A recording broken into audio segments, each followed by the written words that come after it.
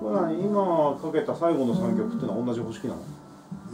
あこれを含めて3曲。ううん。あのーそう DSF と DSDIFF っていうのがあるんだけど、まあ、まあ、あの DSD 元は DSD ですけど、んうん。まあ違うね。うん、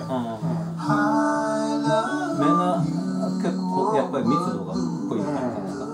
あのねはっきり言ってねこの3曲に来る前はね音情が破綻してるわけみんなだけどここに来てから初めて音情がまともになってるわけで音の質感もいいしね。うんいい。よねやっぱりね、DSD は違う違うね。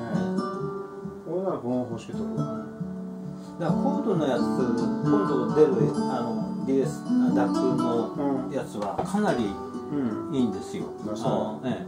あのい前、ダック64で作ったうん。あの中身、うんうんそれから75でしたっけ、はいはいあれに進化したでしょ、うんそれの中身がほとんど入ってて、それでもう最初から DSD 専用に設計し直してそれで14万っていうん。で、かなりのバーゲンプライスことで、音も箱に箱に金かかってたからな。そうそうそうそうそう思うだって僕前64持ってたんですけどこの正直言ってマランツの